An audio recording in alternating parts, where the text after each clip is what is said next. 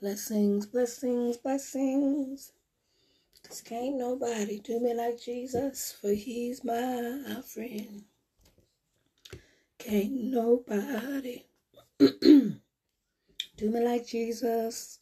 Can't nobody do me like the Lord. Come on, come in, come in, come in. Okay, I'm going to say what I have to say, and whenever you get an opportunity, you can look at the replays. Um, this video is pertaining to the Bowers family. To the Bowers family. God bless you, uh, Dr. Pastor, Apostle Irene Houston. I'm making this video um, for the Bowers family, my family, where my brother passed on this past Monday. My elder brother passed on this past Monday, uh, January 25th, 2021. I've in the pro- been in the process since that time, in the process of getting healed, trying to be well, of keep pulling together pictures to uh, kind of make a family. Um, I don't know what I would call it, but the Bowers family is huge. The Bowers family is huge. Tony was my father's second son. My father has about 15 children. Some of them he was married to the mothers, some of them he was not. But that is not my call nor my responsibility to judge who God allows to come through whose loins. So I honor and respect all 15 of my brothers and sisters that came from my father. Tony is the second son of my father by his first wife, whose name was Olga. Olga died in childbirth in giving birth to Tony, her second son. So Tony lived all of his life without a natural mother. He had the greatest uh, second mom that there could ever be, which would be my Aunt Genevieve, Aunt Genevieve Storba, Bakersfield, California. Most everybody in the family called her Granny because she was the go-to person for a family of 15. My father had 15 brothers and sisters, and all of whoever, they would always end up at Aunt Genevieve's home. So Aunt Genevieve Astorba was Tony's uh, mother. She was his auntie, but she is the one who did raise Tony. After Tony's uh, mother died, after Olga died, then my father met my mother. He married my mother when she was 19 and my father was 39. My father liked younger women. but nonetheless, she was not able to uh, help him raising Tony. And Butch, my older brother Butch, is already gone. He's gone on before Tony. Because my mother was 19 and her stepchildren were like 9 and 10. She tried, but she was doing good raise herself. When she started having children, it was a little bit too much for her. So that's why my mother did not um, Blandon. Then my father married my mother and had three children, three Bowers children Warner Bowers, Frank Bowers, and me, Pamela Bowers. And um, from just from me, just from me, I have 24 Bowers sibs. When I say Bowers, I married a Murphy, so they're Murphys. Um, but the lineage from the Bowers, I have 20 eight and one in the oven. Of the great granddaughter's birthday does happen to be today. My great 10th great granddaughter, her birthday is today. She's one years old today. Happy birthday, ABC. Elena Bailey Creighton is her name. I call her ABC. So again, what I'm doing this quick video for is to let you know that I did do a video of pictures, which I'm going to be posting. Um, Tony had three wives um, and he may have had some children outside of the wives. I'm not sure. We never did a DNA. But I met a young lady who said that she was either his daughter or someone else. It was two people that her mother was fooling with. She said both of the men looked similar, looked alike. She was not sure. Her name was Hazel. So when I met Hazel in Arizona, um, I don't know, about 10 years ago, I'd say. She looked like me, talked like me, looked just like my sister Hazel. And so we just said, well, if you think Tony was your father, then you my niece. So I included her in the video because I don't want anyone to be excluded. People try to hide things and families hide things. People don't want family to know their dirty laundry. We're a family and all families got issues.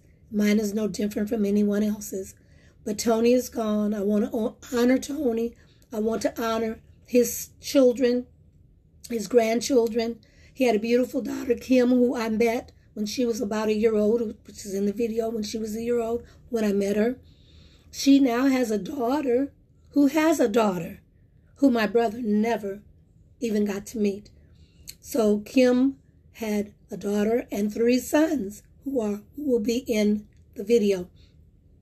So I'm just putting this out here so that there's no confusion, any questions that y'all may have to ask. I think I'm explaining them to you right now. So if you just reference people, go look at the video. Go on YouTube, um, Facebook, look at the video. It tells you everything that you wanted to know and was afraid to ask. It's on there.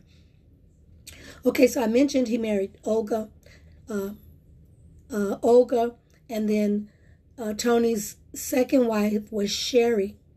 No, no, no, no, no, no, no, no, no, no, no. I'm all confused. I'm talking about my daddy married Olga.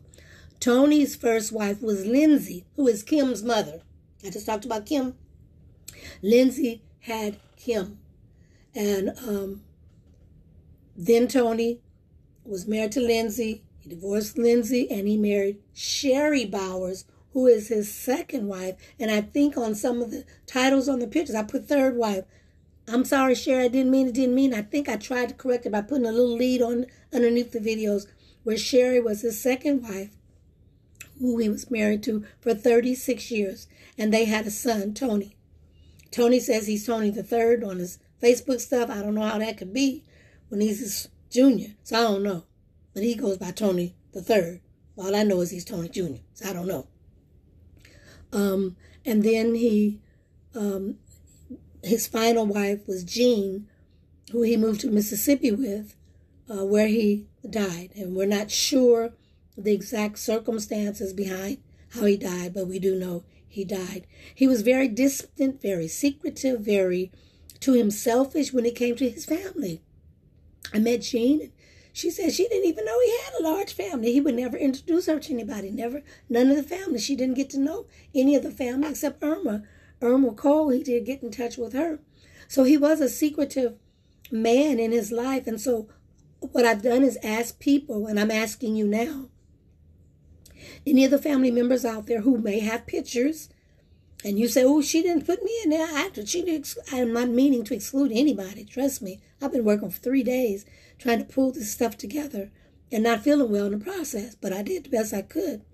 If you have pictures that you want me to include, I can put them on the back end of this video that I will be putting as soon as I finish this live broadcast. Send them pictures in Messenger. Send them to me. Call me. I won't put my phone number on live here, but most everybody that need to have my number has my number. Or you can get my phone number from another family member because um, I'm open. I, I got nothing to hide or disclose in my life. Praise God. Um, is that Shama? Look like Shamako. Thank you. Thank you, sis. Thank you, sis Irene. I appreciate it.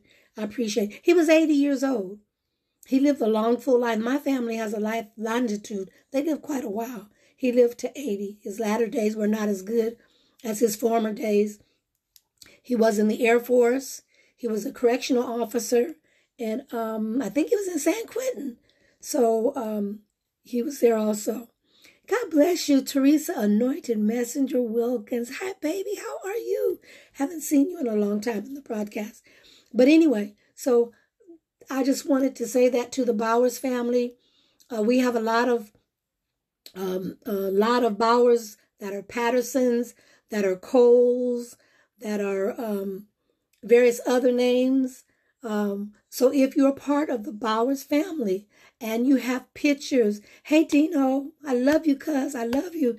Dino, if you have any pictures, I'm I'm getting ready to drop a video that I made. I've been working on for three days for Tony, trying to pull pictures together of him, family members. I've got in talk with the contact with the various wives, pictures of them and him If you have any picture of you and him or other family members that you would like to be added to the video that I'm going to launch, please send them to me. You got my phone number, cuz. Or messenger them to me, and I will add them into it. Um, this is my my way of closure for me, for healing of me. Thank you, baby. Thank you. Thank you, Sister Teresa. This is healing for me. This is what I'm doing. I won't be able. He was in Mississippi. Um, his his wishes were to be cremated. So I don't know that there'll be any kind of official service or whatever the case may be. He was not a brother that was close to me or to anybody, but he was my brother. Hey, as a child of God, we are to honor our life. We're to honor our family, whether near or far. If they got blood, they got the same blood running in their vein, they my family. Praise God. So that's what I'm getting ready to do. Okay, I'm getting ready to shut this live down. Again, I'm going to drop the video right after this live. So any questions that you might have about the video, please look at this first. And this should answer those questions. All right. Don't be judgmental. If I did something wrong, oh well. But as the elder sister, as the elder sister, I'm doing my part, what I feel I need to do, what the Lord has given me to do. Okay. God bless those of you who come to the seven minute read. We are still doing the seven minute read of the Bible every evening at 7 p.m. Pacific Standard Time. We are in our third, going into our fourth year. We've already read it all the way through. We're reading it all the way through again into completed our first year of the second series of the seven minute read. All right. God bless you. And uh, we'll see you at 7 p.m. Pray for me. Thank you. God bless.